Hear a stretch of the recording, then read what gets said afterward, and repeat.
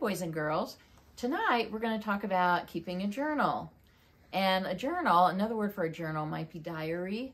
And we've talked before about uh, making a book about ourselves and something that you can keep until you're big and you can pick it up and look at it. A journal is a little bit different. A journal or a diary um, would be something that you write about all kinds of things in. You might want to um, write about what kind of day you've had or, um, well, let me just show you. Okay, I put, here's my journal. I put this one together and you can see my journal has, I have googly eyes. Ooh, you're trying to look inside my journal? Wonder Woman's one of my favorite heroes, so I put this on here. I love rainbows. And so I have some rainbow things, pink unicorns, because I wrote a book about pink unicorns. So, uh, and the word love. So I decorated my journal, but all my journal is, is just regular white paper, computer paper, typing paper. Um, and I folded it and then found some uh, construction paper and did a cover. So a journal doesn't have to be anything fancy. I went ahead and tied mine shut with a ribbon some people lock their journals. I just put my ribbon on it. So let's talk a little bit about, oh, I said this belongs to Gigi, so everybody will know that that is Gigi's journal. I put a bookmark here. Bookmarks are handy, so I know where I left off. When you keep a journal, uh, most interesting dreams you could talk about. You could talk about favorite memories. I think that's a neat thing to talk about. Three wishes. If you had three wishes, what would you wish for? Five toys you'd like to have, or maybe talk about your favorite toys. I'm going to talk about one of mine that I got for Christmas. Uh, something that really scares you. That's a good thing to put in a journal. A favorite thing to do with your friends, or just talk about your friends. Maybe make some notes about, about your friends and what you did today. Um, favorite games. Another kind of journal to keep is a gratitude journal. So you can um, write about things that you're thankful for. And I'm thankful for a lot of things. So you can sort of combine it and, and put, a, put gratitude thoughts inside your journal. And then just your daily journal. Like I said a minute ago, you can talk about what you did today. So I keep a little poetry in my journal, so we'll come back to that. Let me show you some things that I've got in my journal, and the things that I have sitting out tie into all of that. So first of all, and a very good friend that I love, and who obviously loves me, send me some fairy pictures. And I just said, I think it would be so cool if fairies really flew around and lived in my garden. And here are some beautiful fairies. And the reason I like that picture so much is because that little girl is sitting there and there's a fairy talking to her. I think that would be so cool. And who's to say it doesn't happen? Here's a little fairy waiting for the butterfly to come out of the chrysalis. I like that one. And I love this one too. She's thinking, sitting there just sort of pondering and thinking about things. And of course, the fairy who dances. And we've talked before about dancing. And I like, I, I'm not a good dancer, but I, I like to try anyway. Sometimes you can date your entries. I try to date mine. Mine are out of order. But I had a doctor's appointment today, and I found out that my ankle is healing well, but I have to wear my boot for a few more weeks. So that makes me just a little bit sad.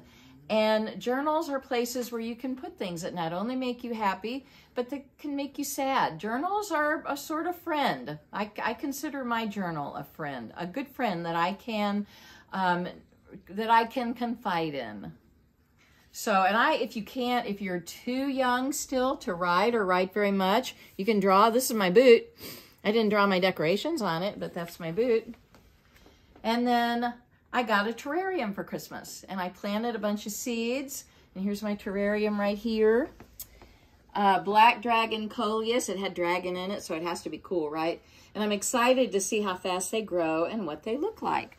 So I drew a picture of my terrarium with my 12 plants, tiny plants that are growing. And that was exciting for me. And then um, another entry, I got some interesting fossils and gems in my advent calendar, and they included green agate, amethyst, white urchin, um, white quartz, desert rose, and lots more. And I got some duplicates, which didn't make me very happy, but what I got was very pretty. So, put my journal there. Let me just show you some of these. Since I talked about this advent calendar, there's Adventurine, which is green, probably a little hard to see in this light. And there's a fossil. I forget what this one's called, but I thought this was a very cool fossil. Here's a desert rose. You can see it kind of looks like a rose. Has the markings of a rose. And pyrite, which they call fool's gold. It isn't really gold, but it sparkles like gold. And all kinds of other fossils and gems in there. So let me read a poem about journaling.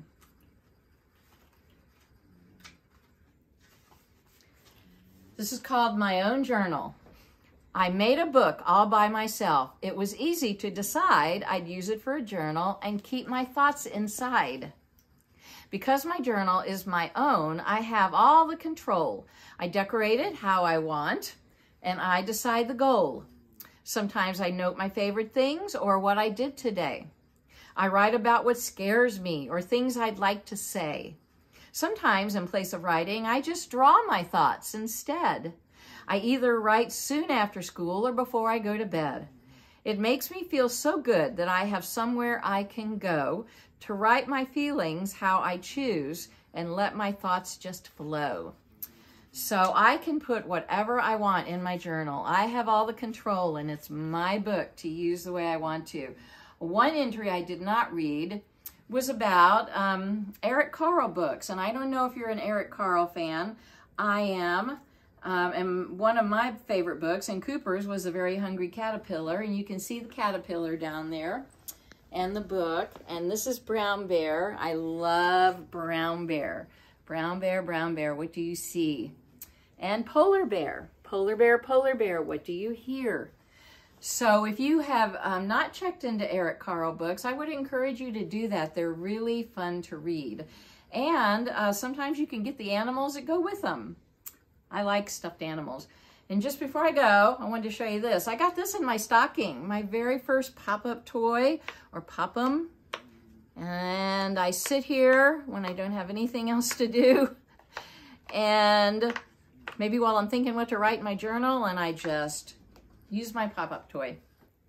So, I hope you had a wonderful day, and I hope you have an even better tomorrow.